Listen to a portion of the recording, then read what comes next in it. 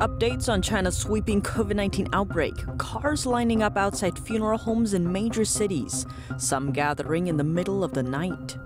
Some families forced to keep the bodies of their deceased loved ones at home.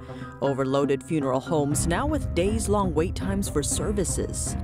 An unusual death toll among China's privileged. Why didn't benefits and aid from the Chinese Communist Party shield them from the disease? An expert explains.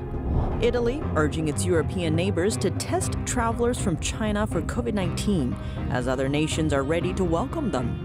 And more U.S. weapons for Taiwan. A $180 million sale gets approved by the Biden administration.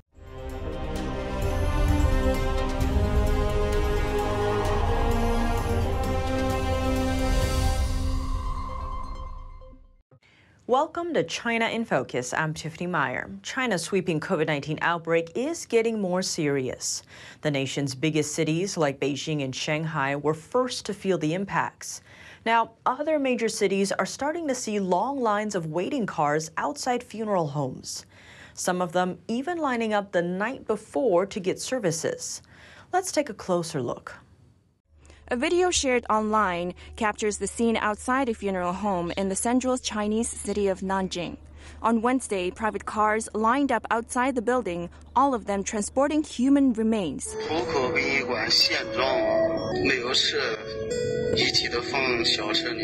A worker at the funeral home told us on Thursday that wait times for hearse transportation are indefinite. If you make an appointment today, you won't get a hearse today for sure. You have to wait for the hearse driver to contact you. There's no way to give you a specific time now. The worker added that even when the customer transports the remains with their personal car, they still must wait in line outside the funeral home and that no farewell ceremony is possible for the deceased person. Another similar clip comes from the eastern China's Nanshan city, filmed at 2 a.m. on Tuesday. It too shows a long waiting line outside a funeral home. A voice heard in the video says more than 80 cars were already waiting for services. First, make an appointment and then line up. First, pull the body over and line up. We start working at 5 a.m. You must line up the night before. Northern China Xi'an City, the Xi'an Funeral Parlor says it's operating at full capacity all day long, but still cannot meet demand. Before the pandemic, the parlor only needed to operate for half the day. This, according to Chinese media.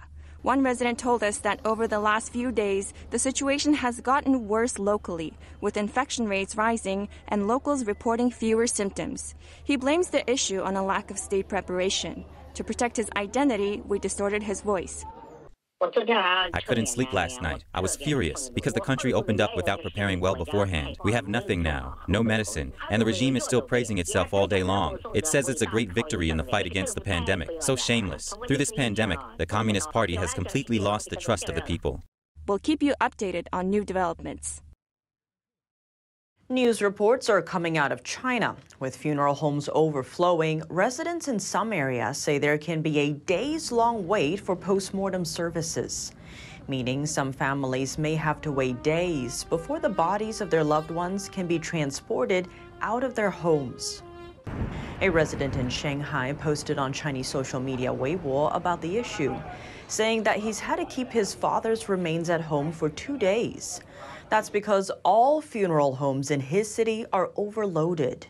He explained his father died on December 26th. Since then, he's reached out to funeral homes, citizen hotlines, and even offered bribes. But the earliest appointment he could get for services was after the new year. He wrote in his post that his father tested positive for COVID 19 and that he planned to burn the remains in his neighborhood. The post triggered a lot of discussion online. After it started garnering attention, local authorities helped him get funeral services. Another Shanghai resident described the city's situation to Radio Free Asia. The scariest thing is not the dead, it's that a large number of corpses are left at home for one day, two days, three, four, five, six days, seven days. Elsewhere in China, some underground parking garages and makeshift hospitals are reportedly being converted into morgues. Officials, experts, and public figures have been dying in unusual numbers amid the COVID 19 outbreak in China, many of them closely aligned with the Chinese Communist Party. Why didn't their privileges and resources, known to come with CCP affiliation, shield them from the disease? We get the inside scoop from an expert. Weeks of obituaries have been hitting China's media. Over the weekend, another high ranking CCP official died amid the latest virus wave. Li Ziliu, the former mayor of China's southern economic hub, Guangzhou. He was among at least 50 CCP officials who have passed away since the start of December. The list also includes 45 prominent scholars and professors. Almost none of their obituaries listed cause of death. Inside China, it's widely understood that those closely aligned with the Chinese regime enjoy certain privileges. So, why are people who typically have greater access to resources and other aid getting caught up in the COVID 19 turmoil? It's that these people are overprivileged, and for a long time they're in a hospital, like a nursing home, and they're given special treatment. And so the privileges that they get end up killing them. That's with the infection ripping through China's vast population. 1.4 billion people are finding themselves ill prepared for the sudden surge. The public, with a lack of natural immunity to weather the outbreak after nearly three years of COVID 19 restrictions, and the upper echelon of the CCP, who've largely shielded themselves from the pandemic over the past few years. Suddenly, both groups may now be more vulnerable to the latest infection wave. Beyond that, a source has said that hospitals in Beijing are suspected as the origin of this virus wave. According to Radio Free Asia, a CCP insider disclosed that the outbreak has been spreading in major hospitals in Beijing since October. But authorities have concealed the news. The insider said the cover up also led directly to the deaths of a large number of retired senior CCP officials that were hospitalized there. On the other hand, China affairs analyst Heng He says many CCP officials and prominent figures have received organ transplants to extend their lives. What's more, a military hospital in Beijing has touted a so called health project for CCP leaders, with a goal of extending their lifespans to up to 150 years. High ranking CCP officials or interest groups within the system have a particularly long lifespan. It relies heavily on replacing their organs with those from young people. Many deaths in the elderly are caused by organ failure, but then they become very fragile and need to be carefully protected. So the virus is particularly dangerous to them. The COVID 19 devastation has continued to unfold in China, despite Beijing's assurance on Tuesday that it's fighting a prepared battle. With much of China battling a severe COVID 19 outbreak, a kind of medication has risen to coveted status. Called Paxlovid, the drug is an antiviral made by Pfizer. Beijing is now restricting imports of COVID 19 medicines, despite the infection surge. So, as the unprecedented virus wave strips resources and citizens struggle to access medication, China's elites and officials are stockpiling supplies of Pfizer's COVID 19 pill, only to give it away, to curry favor with business associates. Paxlovid is the only foreign medicine approved for treatment of COVID 19 in China. The country is only importing several hundred thousand boxes, far short of demand. When a hospital in Beijing offered the antiviral drug earlier this month, it sold out within hours. Right now, the price of Paxlovid per box in China has climbed sixfold, from over $300 to over $2,000. Amid skyrocketing demand and supply shortages during the virus spike, Chinese citizens are turning to the black market for generic Indian COVID 19 drugs. But the price for those, too, has skyrocketed. Looking at the scale of the outbreak in China, plus doubts over Beijing's official data, more countries are weighing on how to treat travelers from China. But they're taking a variety of approaches. The context Beijing will allow Chinese citizens to travel abroad starting January 8th. First on the list, Italy. On Thursday, the country urged its European Union peers to test arriving Chinese travelers for COVID 19. But many are saying no like France, Germany, and Portugal. Elsewhere in Europe, the UK and Norway are also skipping the advice. And Australia, opting not to change its entry rules for passengers from mainland China. Back in the European Union, so far only Italy has ordered COVID 19 tests for travelers from China. Earlier this week, an airport in the country tested passengers arriving from Beijing and Shanghai and found almost half had COVID 19. But no new virus strains were found among them.